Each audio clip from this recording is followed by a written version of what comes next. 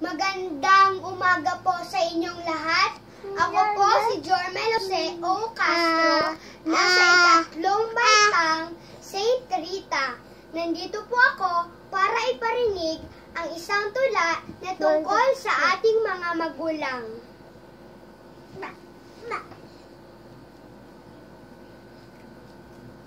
Sa aking mga magulang, kayo ang dahilan ng aking hininga.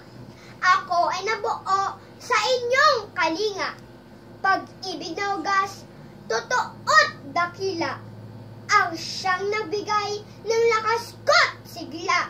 Hinubog ang aking damdamin at diwa.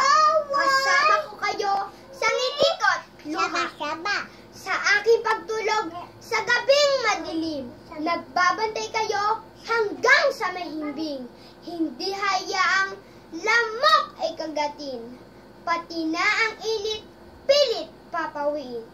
At kung ako may tuluyang magising, nakangiti kayong sasalubong sa akin. Hindi nga maliit ang sakripisyo nyo. Simula nang ako'y maging isang tao.